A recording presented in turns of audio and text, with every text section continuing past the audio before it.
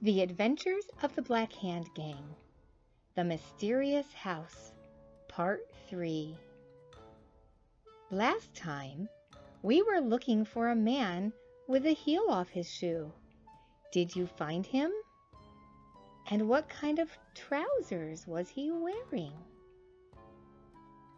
There he is on his motorbike. Part 3 The Rat Hole the gang sat up in the airport listening intently to Angela's report.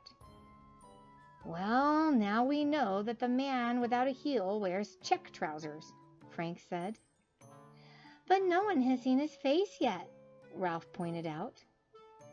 We'll get a chance as soon as we see him go into that house. Each of us must cover an entrance. And the windows, added Angela. Of course, Frank agreed. Three minutes later they were all at their posts. Frank was watching the front door, Ralph the gate by the canal. Angela stood by the garden gate watching the side road through two holes she had cut in her newspaper. And Keith W.S., disguised as a garden gnome, stood like a statue, half hidden in a bed of nettles. Not even a mouse could have sneaked by. But no one came near the house. Tailing a suspect is the most boring part of a detective's life, Ralph thought, yawning. Oh, shower of nuts, whispered Keith W.S., as the truth suddenly dawned on him.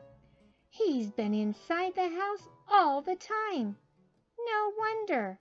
There's a hidden trap door, beautifully camouflaged, too.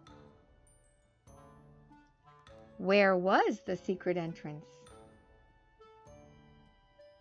Get your pencil and paper and write down your answer.